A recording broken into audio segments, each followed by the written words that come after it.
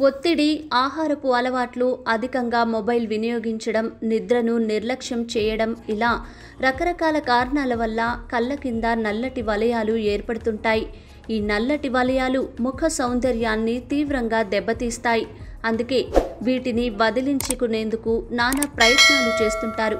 ఈ క్రమంలోనే మార్కెట్లో లభ్యమయ్యే రకరకాల క్రీములు ఆయిల్స్ సీరమ్స్ యూస్ చేస్తుంటారు. అయితే ఇవేమీ కాకుండా పండ్లతోనూ నల్లటి వలయాలకు బై బై చెప్పొచ్చు. మరి ఆ పండ్లేంటో వాటిని ఎలా యూస్ చేయాలో ఇప్పుడు తెలుసుకుందాం.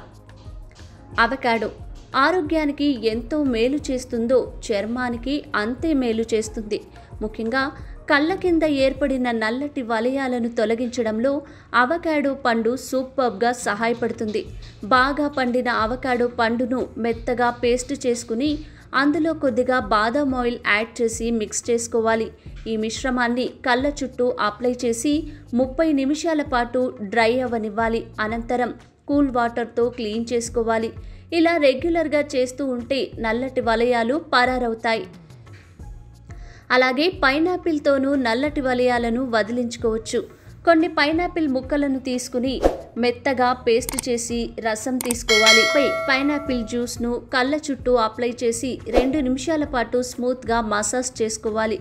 ఇలా రాత్రి నిద్రించే ముందు చేసి ఉదయాన్నే గోరువెచ్చని నీటితో శుభ్రపరచుకోవాలి. ఇలా రోజూ చేసిన మంచి ఫలితం ఉంటుంది.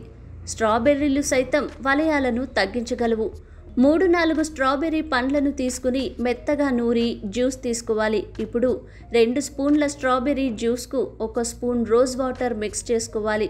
ఇప్పుడు ఈ మిశ్రమాన్ని కళ్ళ చుట్టూ అప్లై చేసుకుని ఇరవై నిమిషాల తర్వాత వాటర్తో క్లీన్ చేసుకోవాలి. ఇలా రోజు ఉదయం సాయంత్రం చేసిన నల్లటి వలయాలు క్రమంగా మటుమాయమవుతాయి. Please subscribe to Telugu stop.